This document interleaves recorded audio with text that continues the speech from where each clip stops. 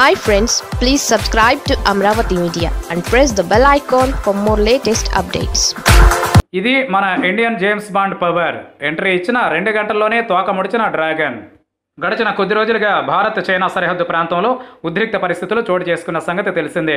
తాను చెప్పేదానికి చేసేదానికి సంబంధం లేని రీతిలో వ్యవహరిస్తున్న డ్రాగన్ దేశం దొంగ ఎత్తులతో దెబ్బతీసే ప్రయత్నం చేస్తున్న సంగతి తెలిసిందే. ఒక దశలో భారత్ చైనాల మధ్య సైన్యం తరలింపు ఆయుధాల మోహరింపు లాంటి పరిణామాలతో ఢీ అంటే ఢీ అనే పరిస్థితి.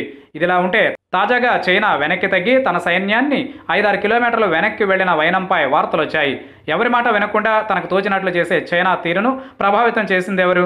ఎవరి కారణంగా చైనా తాజాగా వెనక్కి తగ్గే నిర్ణయం తీసుకుందన్న విషయంలోకి వెళితే ఆసక్తికర అంశాలు వెలుగు చూస్తాయి భారత జేమ్స్ బాండ్ జాతీయ భద్రతా సలహాదారు అజిత్ డోభాల్ ఎంట్రీతోనే ఇలాంటి పరిస్థితి నెలకొందని చెబుతున్నారు.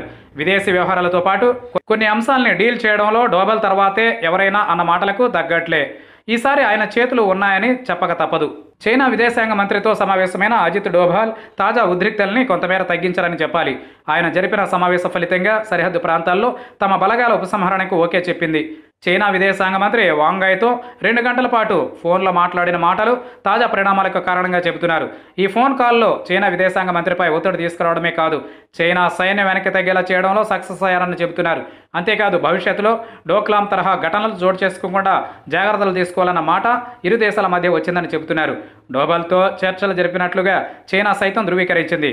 ఆసక్తికరమైన విషయం ఏంటంటే ఫోన్ కాల్ పూర్తయిన కొన్ని గంటల వ్యవధిలోనే చైనా సైనికులు సరిహద్దుల నుంచి వెనక్కి వెళ్ళినట్లుగా చెబుతున్నారు. శాంతి పునరుద్ధరణ కోసం ఎల్ఏసి వెంట ఉన్న సైనిక బలగాల్ని పూర్తి స్థాయిలో సరిహద్దుల నుంచి వెనక్కి రప్పించేందుకు ఇరు పక్షాలు అంగీకరించాయి అని విదేశాంగ ప్రకటన విడుదలైన కొన్ని గంటల వ్యవధిలోనే ఉద్రిక్త పరిస్థితులను తగ్గించేందుకు వీలుగా బలగాల ఉపసంహరణకు నిర్ణయం తీసుకున్నాం. సైనిక దౌత్య మార్గాల ద్వారా సరిహద్దు వివాదాలని పరిష్కరించుకునేందుకు భారత్ సహకరిస్తుందని ఆశిస్తున్నాం. ఆ దిశగా నిర్మాణాత్మక చర్యలు తీసుకుంటుందని విశ్వసిస్తున్నామంటూ చైనా నుంచి ప్రకటన రావడమే కాదు తమ సైనిక బలగాల్ని వెనక్కి తీసుకువెళ్ళేలా చర్యలు తీసుకోవడం చూస్తే భారత జేమ్స్ బాండ్ ఫోన్ కాల్ పుణ్యమే తాజా పరిణామాలని చెప్పక తప్పదు.